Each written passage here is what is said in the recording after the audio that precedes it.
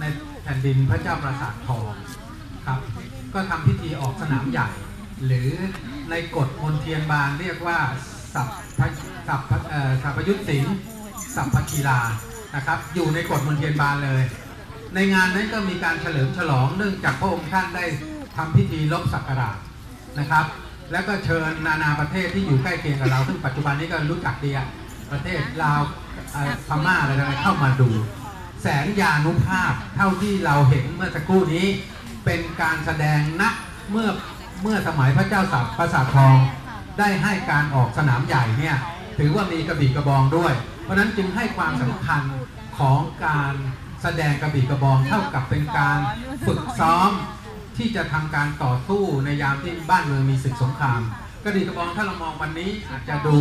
เยาวชนเล่นเนี่ยอาจจะดูว่า เป็นเรื่องเล็กน้อยหรืออะไรก็แล้วแต่ หรือจะเป็นดูเรื่องหวาดเสียวนะฮะแต่ว่าในอดีตก็ปรากฏว่ามีการสวนสนามใหญ่คือการแสดงกระบี่กระบองเนี่ยเป็นหลักเราเรียกกันในกฎมนเทียนบานของอยุธยาในสมัยพระเจ้าบรรลัทองเนี่ยเรียกว่าสัพพยุตศิลป์สัพพคีลานะครับ ก็หมายความว่าการออกกำลังกายเพื่อเตรียมร่างกายให้พร้อมไหวพริบต่างๆเนี่ยเพื่อที่จะ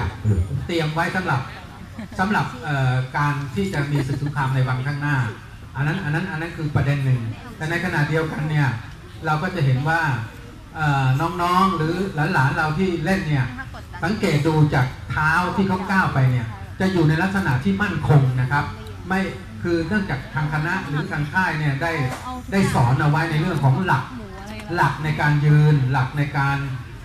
ก้าวเท้าหรือหลักในการฟันเนี่ยมีเหตุมีผล นะครับในในในลักษณะที่ถือได้ว่าทั้งสองคณะเป็นการอนุรักษ์ศิลปะและวัฒนธรรม ซึ่งเป็นอัตลักษณ์หนึ่งของออการระลึกถึงธนบุรี